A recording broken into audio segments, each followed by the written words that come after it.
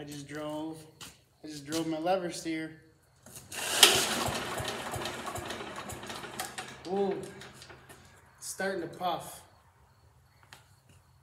Hello and welcome back to another edition of this 1947 Pond lever steer. I don't think I mentioned it in the videos, but um, most all of our tractors get names. And I was doing some history research yesterday when I got home from uh, unloading this and realized that 1947 was the first year that a black baseball player was allowed in the major leagues. Jackie Robinson was signed with the Brooklyn Dodgers. And now I'm not much of a baseball nut, but um, what a true underdog story, you know, where pretty much everybody didn't believe in Jackie. Um, just like two guys, a father and son, working in their two stall garage, building these tractors out of used parts post war and and building an empire. So, if you haven't realized, the name of this tractor is Jackie. So just a recap of where I left off. Last night, I had no compression, so I pulled the head off and found that the exhaust valve was stuck open. And a little bit of juice and a little bit of rotation of that valve and it popped right back into place.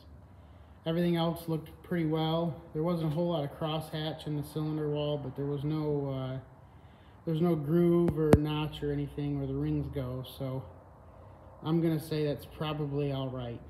Um, everything's good and tight and, and seals well. So I put the head back on. I was gonna use some RTV copper or uh, red, but I ended up just uh, using the existing head gasket and retorquing it. So now I have the, the cover off this magneto here and the points are back in there and I'm going to clean those points because I didn't have any spark. But when I took this cap off I realized that that plug wire was just barely hanging on. So it could be that I just didn't have any connection between my plug wire and my magneto cap. So I'm gonna just polish that set of points while I'm in there and then put it all back together and see if I've got spark. Now I've mentioned this before, but I'm just gonna use a dollar bill and I'm gonna fold it up a couple times. And I'm gonna use that to polish my points. Reason being is it's, it's not a great idea to use like sandpaper and scratch those points. I'd rather, uh, I'd rather just polish them and clean any debris off them. So I'm gonna push that open get it in there so it's just held in place and then wiggle it back and forth. And that should be enough to clean those see, looking at the, the screen, that I've got a crack right here.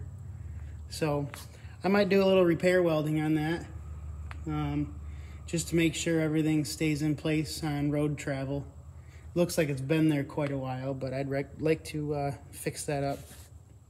This here, even though it says Ward's gasoline engine, you can still see on that model number that it's an AEN Wisconsin. So I picked this up at a estate sale, um, the same place where I got that RJ35. And um, I figured I didn't have anything to lose. I'd already paid for the 35 so I offered half on this engine. I got it for 30 bucks. Has compression and rolls over. And the exhaust was corked off. It was inside on a shelf. But it's that same um, Fairbanks Morse Magneto. So I'm going to pop that cover off and check there for spark and see if I've got anything good. And still no spark. So neither one of these are giving me spark right now, but I do have another option. Uh, one of my good buddies down the road has a Wisconsin or two sitting in his barn. He said he'll probably never use or get to. So I can come down and grab them. So I'm gonna scoot down the road a minute and pick up another one or two and see if that doesn't help me with my quest to make this thing run. Well, here we go. A couple new engines for the for the stables. This was an old uh, alternator generator system to run lights at hunt camp with a Volkswagen muffler. And this is a smaller Wisconsin, but it still has a Fairbanks Morse magneto and it has spark. So I might end up using that magneto as long as the uh, as long as the drive gears are all the same, which I would assume they are. So I have a concern that the magneto is on the wrong side. Or not the wrong side, just the opposite side. You see? And so all of these Wisconsin engines in there, you can kind of see it says DC on there. And that ignition, it's just past, that mark is just past this hole.